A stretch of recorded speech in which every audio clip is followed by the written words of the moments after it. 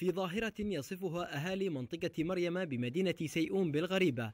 فوجئ الأهالي بتسرب المياه من هذا الجبل المحاذي للمنازل دون معرفة الأسباب.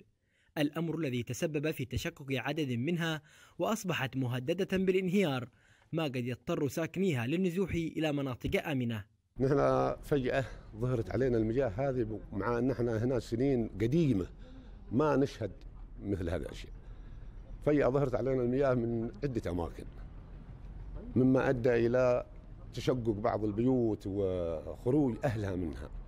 من ضمنهم أنا والجيران كلهم هذول ما يقارب يمكن ستة أو سبعة بيوت. هذه اللي أصبحوا مهددين. ما يخرج من الجبل وإحنا عارفين إيش منين مصدره؟ برضه أصحاب المياه ورحنا للمياه ورحنا للمياه الجوفية ورحنا ما حد افتنحنا فيه. ولا إحنا عارفين مصدره منين لماذا؟ تسرب للمياه دون معرفة مصدره حتى الآن. يزداد معه قلق الأهالي.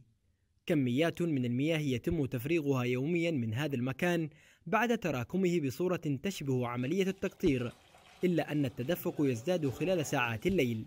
نحن بدأنا مع أصحاب المياه ونتعرف على أسباب هذه المشكلة وبدأنا إن شاء الله تعالى في هذا وإن شاء الله أن نتعرف ونحل خاصة بيوت الناس والمواطنين المهددة وأنه في الآونة كذلك أنه زيادة المياه أكثر كانت ولذلك نحن نطالب ولا زلنا نطالب أنه بذل الأكثر شيء في المسعى وفي نفس الوقت معرفة هذا السبب.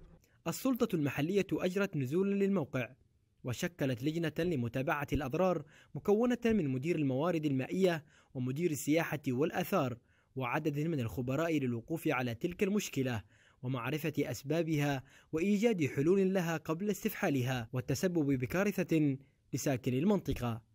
حدد مساعد قناة بلقيس من مدينة سيئون.